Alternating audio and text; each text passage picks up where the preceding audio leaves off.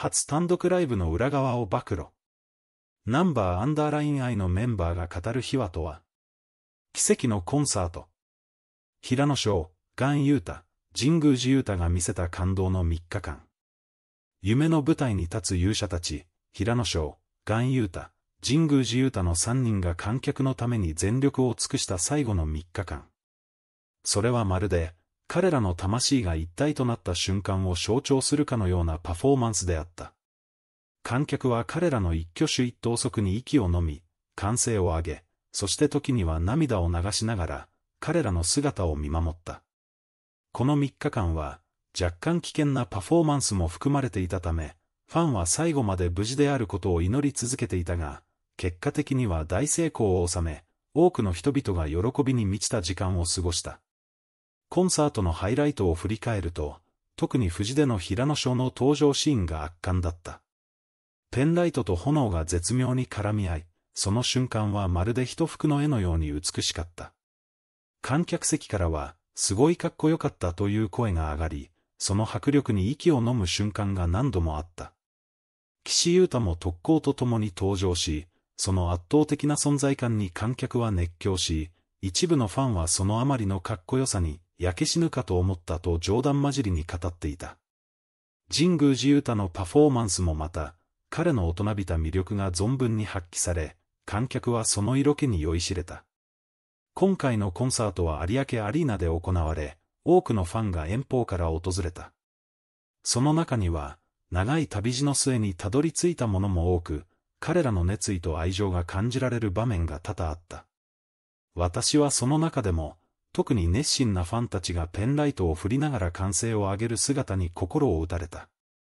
彼らの応援が三人に届く瞬間を目の当たりにし、その絆の強さを感じることができた。写真を撮り、雰囲気だけでも感じ取ろうとするファンも少なくなかった。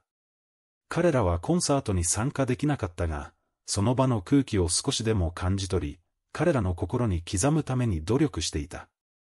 神宮寺勇太のパフォーマンスが特に印象的で、大人向けの色気を放っていたため、子供を連れてこなくてよかったと感じたファンもいた。その一方で、平野翔は予想以上に可愛らしい一面を見せ、観客を魅了した。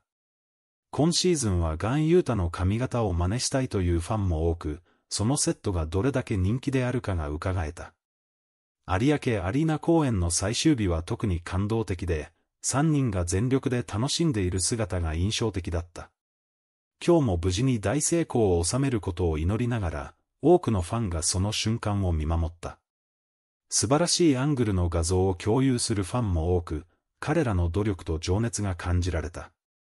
私も2階スタンドの最高列からその景色を眺め、無ビステで神宮寺歌が近くまで来た時の感動を忘れられない。しかし、左隣の赤炭酸のファンサうちわで視界が塞がれたのは少し悲しかった。せっかく近くまで来てくれた神宮寺太をもっとしっかり見たかったという気持ちは、多くのファンが共感できるものだろう。コンサート中、じゃんけんをする場面もあり、神宮寺太が最初はグーからなのか、すぐにじゃんけんぽんなのかも書いといてあげてね、と笑いながら話していた。その後、神宮寺太が Is It Me? で観客が3人のことを見ずに音楽に乗って盛り上がっているのを見て嬉しかったと語った。その観客が自分の内輪を持っていたことに気づき、逆に俺の方が見ちゃったと笑っていた。その瞬間、彼の可愛らしさとファンへの愛情が感じられた。岸優太がヨヨをやろうとした時に、平野翔が来なくて戸惑ったシーンも微笑ましかった。三人が重列になる時に、平野翔がガンユータに向かい合って笑っていた場面は、観客の心を掴んで離さなかった。その後、MC で岸優太がそのことに触れ、小にしてやられた、と笑っていたのも印象的だった。初めて開放席で横から演出を見るのも楽しく、周りの人々も同じように楽しんでいる様子が感じられた。ペンライトを振りながら、観客一人一人が三人のパフォーマンスに依頼、その瞬間を心に刻んでいた。腰が抜けるかと思うほどの感動と興奮が入り混じり、彼らの初単独ライブの成功を祝う声が響き渡った。彼らが寝る間も惜しんで準備してきたことが伝わり、その努力に感謝の気持ちを抱いたファンも多かった。私はその光景を見て、彼らの笑顔が見られて幸せだったと感じた。岸優太の最後の挨拶もまた感動的だった。今日はありがとうございました。めちゃくちゃ楽しかったです。これからもいっぱい楽曲、甘神を聞いて楽しんでくださいありがとやした甘神という言葉に、平野翔が満面の笑顔でいらえ、その瞬間が画面にも抜かれていた。動画アップも後ほどされる予定で、その瞬間を再び見ることができるのを楽しみにしているファンも多かった。コンサートが終わってしまったという寂しさもあったが、2階スタンド後方からでも無ビステで目の前まで来てくれた彼らの姿を裸眼で見ることができた幸せをかみしめていた。現地参戦した方からの経験談を聞き、その感動が伝わってきた。次こそは私もナンバーアンダーラインアイに会いたいという願いを抱きつつ、彼らの笑顔が見られる日を待ち望んでいる。留守組の私たちも、彼らのパフォーマンスを心から楽しみ、その努力と情熱に感謝の気持ちを伝えたい。有明の最終公演を盛大な拍手と歓声で迎え、幸せな気持ちに包まれていた観客たち。その一体感と絆は、これからも彼らの心に刻まれ続けるだろう。このコンサートを通じて、三人の絆とファンとの絆がさらに強まったことを感じた。彼らのパフォーマンスは、ただのエンターテインメントではなく、人々の心をつなぐ力を持っている。その力が、これからも多くの人々に感動と喜びを与え続けることを願ってやまない。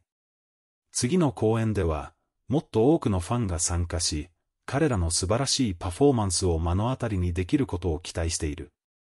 そして、その時には、さらに多くの感動と笑顔が溢れることでしょう。彼らの夢の舞台はまだまだ続き、私たちファンもその一部であり続けたいと心から思っています。彼らの次なる挑戦と成長を楽しみにしながら、これからも応援し続けます。そして、次こそは私もナンバーアンダーラインアイのコンサートに参加し、その感動を直接感じたいと願っています。彼らの笑顔とパフォーマンスが、多くの人々に幸せを届け続けることを信じて、コンサートの余韻に浸りながら、私は彼らのこれからの挑戦と成長に思いを馳せる。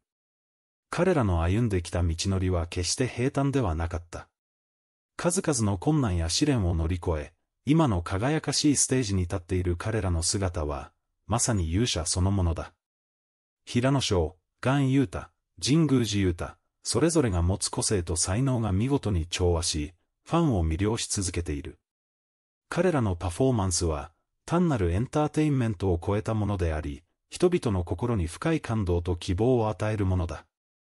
その一瞬一瞬が、観客の心に刻まれ、忘れられない思い出となっている。これからも彼らの挑戦は続くだろ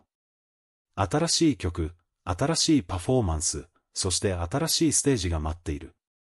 ファンはそれを心待ちにし、彼らと共に歩む旅路を楽しみにしている。彼らの音楽とダンスは、日常の中での癒しや元気を与えてくれる存在だ。その存在があるからこそ、多くの人々が困難な時にも頑張れるのだ。彼らのファンとして、私たちは何ができるだろうか。応援すること、彼らの努力に感謝すること、そしてその感動を広めること。彼らのパフォーマンスがどれだけ素晴らしいかを伝えることで、もっと多くの人々に彼らの魅力を知ってもらうことができる。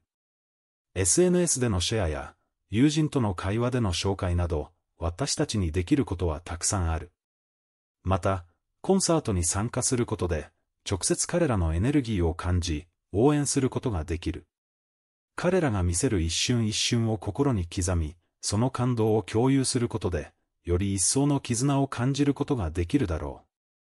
コンサートに参加することができなくても、映像や音楽を通じて彼らのパフォーマンスを楽しむことができる。彼らの音楽はいつでも私たちの側にあり、どんな時も私たちを元気づけてくれる。